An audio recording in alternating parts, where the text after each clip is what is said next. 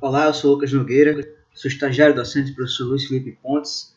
Esse vídeo é um resumo da teoria da precificação por arbitragem, aula dada no curso de Ciências Atuariais da UFPB, na disciplina de Finanças 1. Antes de tudo, não se esqueçam de acessar o blog do professor. Esse vídeo e outros vídeos estão no canal do YouTube Contabilidade e Métodos Quantitativos. Então, o que é APT? É um modelo de precificação de ativos criado por Stephen Ross, em 1976. Possui a ideia central de que os retornos dos ativos podem ser explicados usando a relação entre a sensibilidade deste ativo aos fatores macroeconômicos, fatores de risco ou características. A APT é vista como alternativa ao CAPM por ser mais flexível e permitir a inclusão de outros fatores de risco que não seriam possíveis devido a, a fortes restrições teóricas que o CAPM impõe na, no teste empírico do modelo. Então, relembrando o CAPM, temos aqui os principais, é, principais discussões que foram feitas na aula anterior e temos que o retorno esperado de um ativo é dado pela taxa livre de risco, mas a sensibilidade desse ativo ao prêmio pelo risco, que nesse caso é dada pelo retorno do mercado menos a taxa livre de risco. Principal modelo de precificação por arbitragem foi desenvolvido por Chain, Rowe e Ross em 1986. É um modelo que é formado pela, pela inclusão do, da produção industrial, alteração na inflação inesperada, inflação inesperada, e cada um desses betas mensura a sensibilidade de um ativo ou de uma carteira a esses vários fatores macroeconômicos ou fatores relacionados com o mercado. Fazendo uma demonstração simples da APT, com o modelo de dois índices, por exemplo, vamos supor que o modelo abaixo ele descreve os retornos. Podem ver que é um, é um modelo de dois índices, formado pelo beta 1 e pelo beta 2, em que o I1 e o I2 são índices ou fatores macroeconômicos que a gente não está explicitando, mas que são importantes e são fatores sistemáticos que não podem ser diversificados.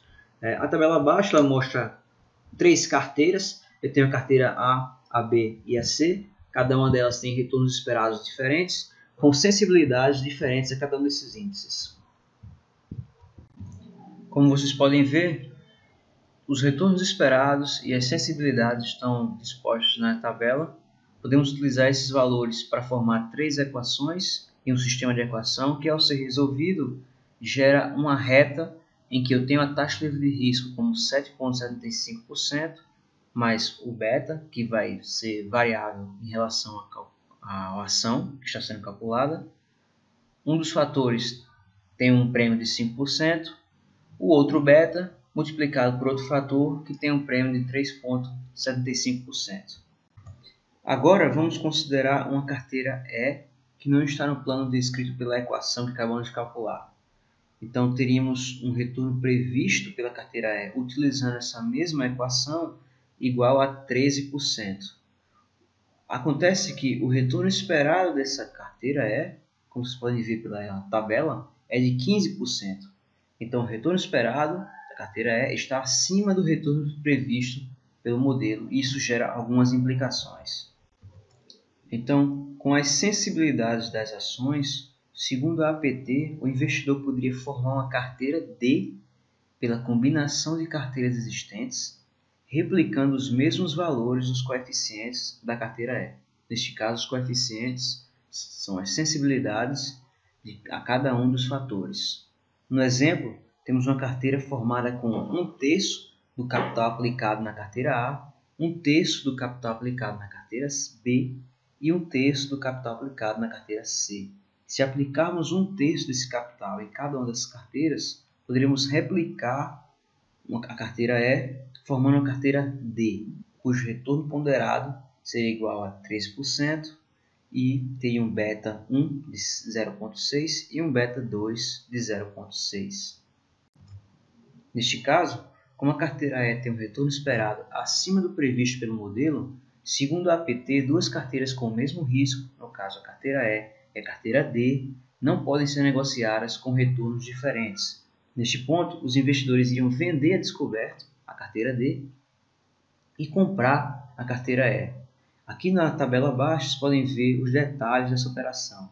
A carteira D sendo vendida, esse lucro obtido seria utilizado para comprar a carteira E, e após, no tempo T mais 1, tendo como base que essas duas carteiras possuem a mesma sensibilidade aos fatores de risco, a carteira de arbitragem geraria um retorno de 200. Essa operação iria continuar até a carteira E apresentar um retorno esperado de 13%, igual ao da carteira D.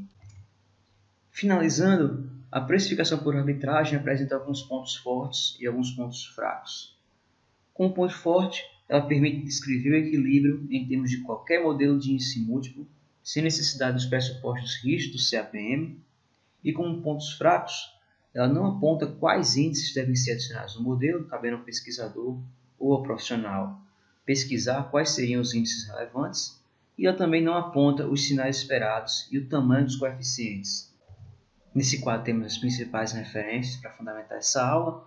Abaixo, no último, na última referência, temos o artigo do Ross. A gente aconselha a quem quiser se aprofundar a ler o artigo. E, é claro, acessem o blog, o canal do Facebook, o Twitter e o YouTube para ver mais vídeos em relação a finanças. Obrigado.